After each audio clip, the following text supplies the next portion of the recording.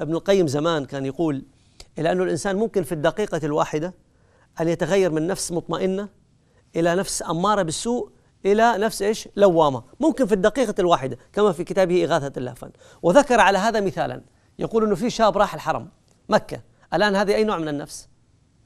نفس مطمئنة لأنه واحد راح الحرم يبغى يبغى يطوف ويصلي. فبدأ يطوف وهو في الكعبة يقول اللهم إن هذا البيت بيتك والحرم حرمك والأمن أمنك وأنت الله الرؤوف الرحيم. يطوف حول الكعبة.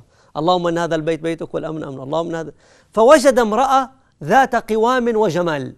واحدة كانت يعني كاشفة وجهها وجميلة وفيها قوام. فعلق بصره بها. ترك الذكر والعبادة. لحين تحول إلى فين؟ تحول إلى نفس إيش؟ أمارة بالسوء. الخطوة الثالثة التي حصلت له أنه تعلق بها. فعلق لسانه. فأخذ ينظر فيه يقول اللهم إن هذا بيت بيتك والحرم حرمك بدل ما يروح للكعبة اللي على يساره يقول اللهم إن هذا بيت بيتك راح للمرأة يقول لا اللهم إن هذا البيت بيتك والحرم حرمك وأنت نسي خلاص علق لسانه. بعدين انتبه انتبه من هذه الغفلة وهذه السكرة إنه كان في مطمئنة راح الآن إلى لوامة أو أمار بالسوء الآن بدأ يلوم نفسه. فقال أبياتا من الشعر ما كنت أحسب أن الحب يعرض لي عند الطواف ببيت الله ذي الستور.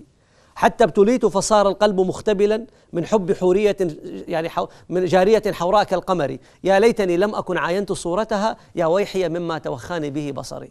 شوفوا يعني واحد في الحرم خلال دقيقتين من مطمئنة إلى أمارة بالسوء إلى لوامة. طب فما باله نحن أيضا مع الجوالات؟ قاعد يحصل معنا نفس الآلية، واحد في المسجد وكويس. راح إلى إلى إلى, إلى سيارته ولا هو في الطريق والله قاعد يشوف شيء خطأ. يعني وين إيش اللي حصل؟ دقائق معدودة قاعد ينقلب، والعكس صحيح، ممكن الإنسان يستثمر يستثمر. وياما أناس بالمناسبة أنت ممكن تغيب عنه ستة شهور سبعة شهور فتجده إنسان آخر.